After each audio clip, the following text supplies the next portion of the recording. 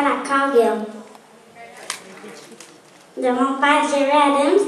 Puis euh, cette chanson-là, il l'a écrite parce que moi, quand je chante, je m'habille pas tout le temps comme euh, une carriole. Fait que euh, il l'a écrit pour ça.